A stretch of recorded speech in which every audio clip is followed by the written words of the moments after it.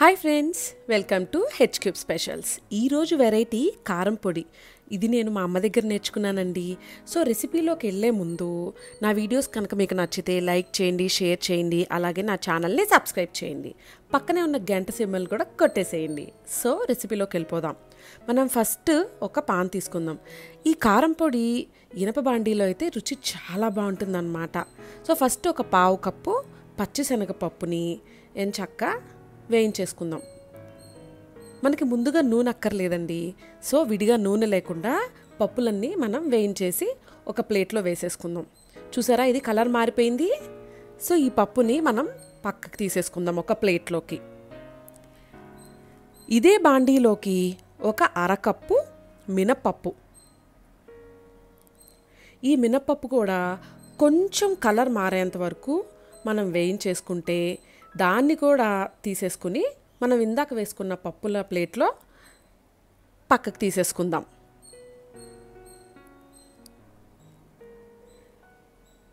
దానిలోనే ఒక అరకప్పు ధనియాలు వేసుకుందాం. ధనియాలు వేగడానికి ఎక్కువసేపు పట్టదండి. సో చాలా ఫాస్ట్గా వేగిపోతుంది. జాగ్రత్తగా చూసుకుని వేపుకోవాలన్నమాట. ఒక నిమిషం పాటు కలుపుకున్న తర్వాత ఒక పావు కప్పు నువ్వులు. నువ్వులు కూడా చాలా తక్కువ టైం తీసుకుంటాయి వేగడానికి. అందుకని జాగ్రత్తగా చూసుకుంటూ కలుపుకోవాలి. నువ్వులు చిటపటలాడగానే ఒక స్పూను జీలకర్ర అలాగే ఇంకొక స్పూను ఆవాలు కూడా దీంట్లో వేసేసుకుని చక్కగా ఒక నిమిషం పాటు కలిపేసుకుందాం. ఇవి కూడా ఫ్రై అయిపోయాయి.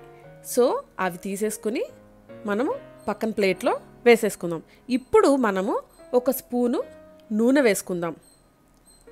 దీంట్లోకి ఒక రోజంతా నీడ పట్టున ఆరపెట్టిన ఒక కప్పు కర్రేపాకు. దీన్ని ఎండపెట్టకూడదండి. ఆకులు ఎండిపోతాయి. నీడలో ఆరపెడితే సరిపోతుంది.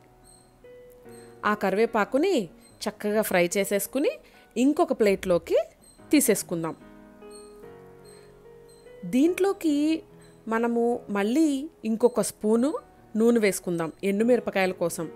ఎండుమిరపకాయలు కారం ఎక్కువే కావాలండి కారం పొడి కదా. సో నేను దానికోసం ఒక నలభై ఎండుమిరపకాయల దాకా తీసుకున్నాను. మీరు కారం తక్కువ కావాలనుకుంటే కొంచెం తగ్గించవచ్చు కానీ కారం ఎక్కువ ఉంటేనే చాలా బాగుంటుంది కారం పొడి. ఆ ఎండుమిరపకాయలు కూడా చక్కగా నూనెలో ఫ్రై చేసేసుకుందాం. ఎండుమిరపకాయలు చక్కగా గలగల్లాడగానే తీసి కరివేపాకుతో పాటు ప్లేట్లో తీసేసుకుందాం అనమాట ఇప్పుడు మనం వన్ బై వన్ గ్రైండ్ చేసేసుకుందాం.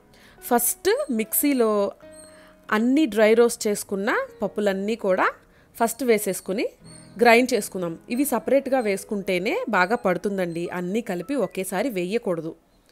సో ఈ పౌడర్ రెడీ అయిపోయాక దీన్ని ఒక బౌల్లోకి తీసుకుని పక్కన పెట్టుకుని దీనిలో సపరేట్గా మళ్ళీ ఇందాక నూనెలో వేయించుకున్న కరివేపాకు అలాగే ఎండుమిరపకాయలు వేసుకుని చక్కగా గ్రైండ్ చేసేసుకోవాలి. ఒకసారి ఈ ఎండుమిరపకాయల కరే కరివేపాకులోకి ఒక స్పూను ఉప్పు వేసుకుందాం ఉప్పు చాలా జాగ్రత్తగా వేసుకోవాలండి. ఎందుకంటే ఇది కొన్ని రోజుల తర్వాతకి కొంచెం ఉప్పిస్తుందన్నమాట.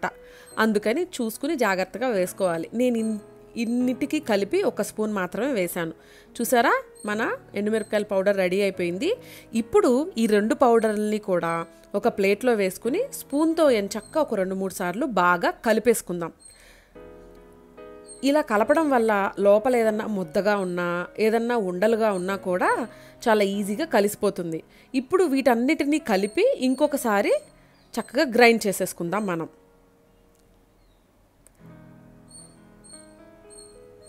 గ్రైండ్ చేసుకున్నాక అబ్బా చూసారా? రంగు చక్కగా ఎంత బాగుందో కదా? బాగుందా? ట్రై చేయండి. ఎలా ఉందో నాకు కమెంట్ చేయండి. మళ్ళీ ఇంకో రెసిపీతో కలుద్దాం. Bye bye.